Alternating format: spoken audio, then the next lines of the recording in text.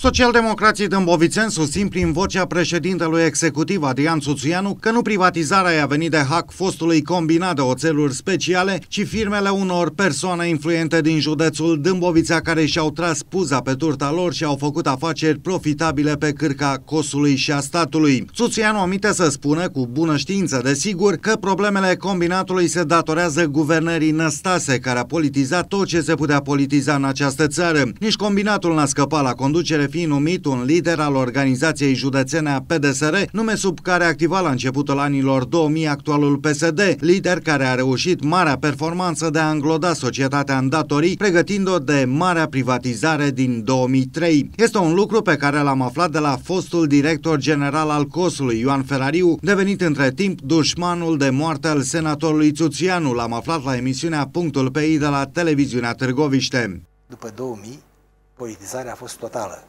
s-a ras tot ce era bun în combinat la conducere și s-au pus niște oameni, la unii le-a căzut pălăria pe ochi, la alții nici nu, nici nu aveau nevoie de pălărie și a ajuns combinatul unde a ajuns.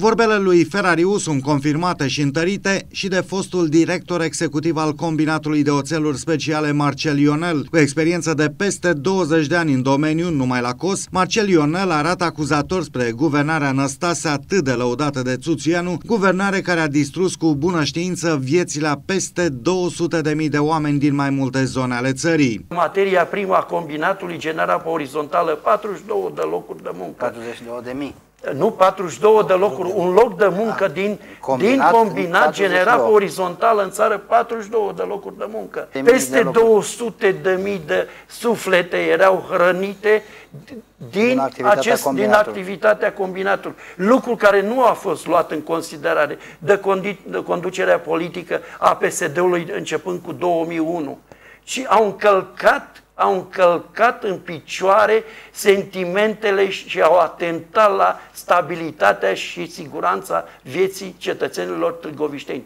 Și nu numai a târgoviștenilor, mă refer și la Subex, mă refer și la Arc, Sipiu și la, și la alte și la alte și la uh, fabrici, și la Bârlat și așa mai departe. În concluzie, nu știu cum au tupeu și obrazul în fața întregii, întregului județ să mai ridice probleme când ei au distrus uh, vieți